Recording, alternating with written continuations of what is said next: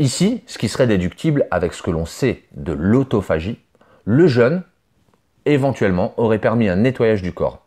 Bonjour et bienvenue sur Musculation en Santé. Aujourd'hui, on parle jeûne et polyarthrite rhumatoïde. Tu n'es pas concerné? Reste quand même.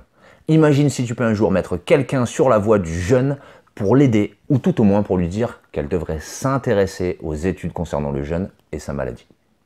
Je te donne une définition de cette horrible pathologie. C'est une atteinte articulaire d'origine auto-immune. C'est-à-dire que c'est ton propre corps qui déclenche cette maladie. Elle est très douloureuse, avec déformation et destruction des articulations atteintes. Et c'est très invalidant.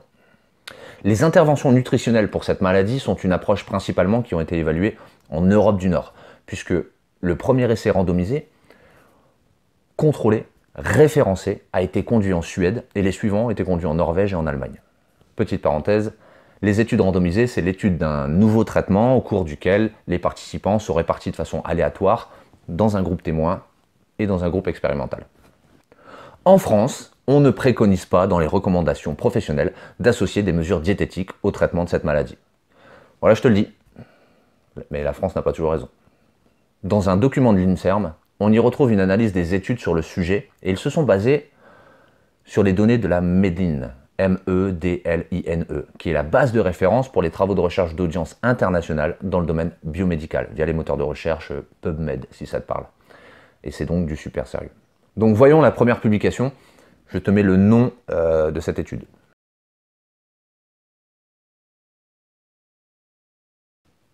Alors, pour connaître ce qui a été évalué dans les études, je t'invite à les rechercher, car c'est très technique, très long, et moi, juste, je synthétise. Il ressort de cette étude que les patients qui ont suivi un jeûne de type Bushinger, donc c'est-à-dire avec des bouillons et autres, environ 200 calories par jour, avec purge et exercice physique, puis à la suite un régime végétarien modifié, c'est-à-dire pas d'œufs et pas de lait transformé, ont connu une amélioration des symptômes, douleur, raideur articulaire, mais uniquement le temps du traitement. Après les 9 semaines de régime végétarien, les symptômes sont revenus. L'étude suivante est une étude norvégienne.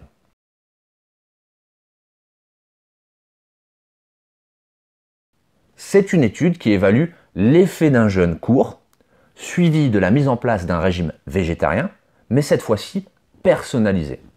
La durée de l'essai est de 13 mois.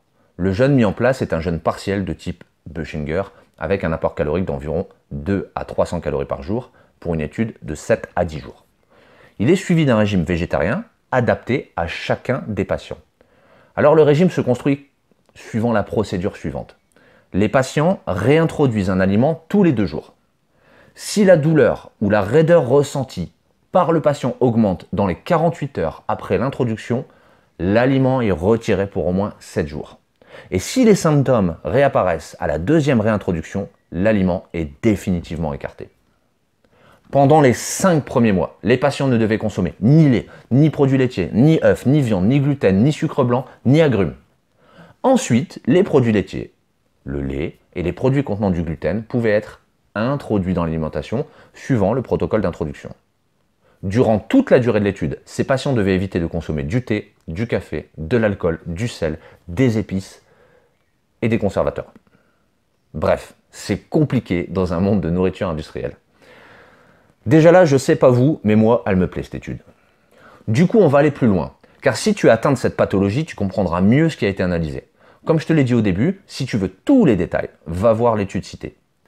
Ils ont mesuré la douleur avec une échelle visuelle, mesure du temps de déverrouillage matinal, gradation des capacités fonctionnelles au moyen d'un questionnaire d'évaluation de santé, nombre d'articulations atteintes, évalué avec l'indice de Ricci, le nombre d'articulations rigides ou douloureuses au mouvement ou enflées, la force de la poigne est mesurée trois fois par consultation à l'aide du vigorimètre de Martin, puis la somme de la médiane de chaque main est établi. Un score d'auto-évaluation globale par rapport à l'état du début de l'étude, comportant 5 niveaux, bien mieux, mieux, inchangé, pire, bien pire, un suivi de poids, des radiographies des mains, des poignets et d'autres articulations.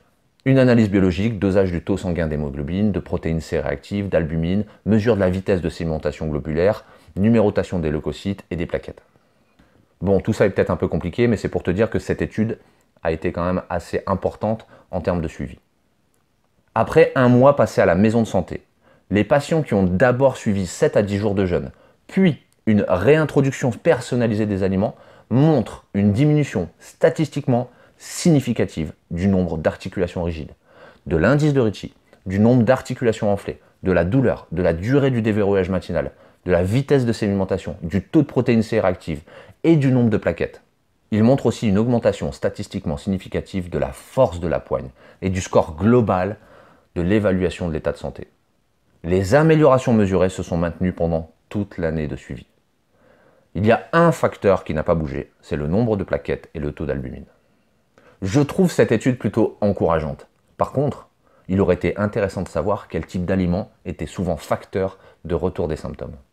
Ici, ce qui serait déductible avec ce que l'on sait de l'autophagie, le jeûne, éventuellement, aurait permis un nettoyage du corps.